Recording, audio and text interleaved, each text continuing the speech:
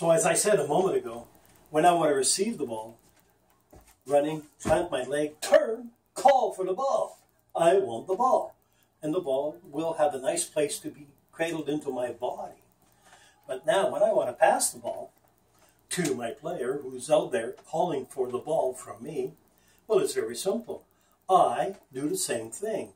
I plant my left leg in this case because I want to go here. I turn my body. Oh, guess what? And I turn my head.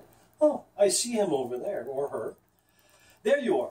And I see their hands beautifully outstretched with their body turned towards me. And I know I've got a good target right there. And it's very easy for me to turn. Look at the way my legs are. And I'm positioning myself this way. I'm not passing this way, as we saw in some of the rugby games, many times, unfortunately. Or this kind of stuff. Or, the, you know, maybe once in a while you can get away with it. But all, often, not against good teams, you won't. So you want to make a good pass? Plant that leg, look at your player. There you are. Boom! Pass the ball. Pass the ball. There she goes. And that person with their hands outstretched now gets a nice ball into their body, and off they go and score.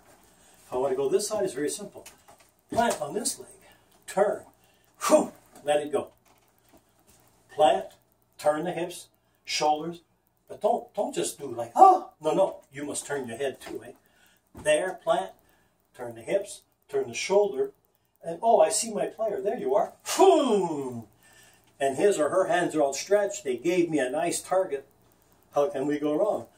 They're going to go and have a good run and maybe score a good try.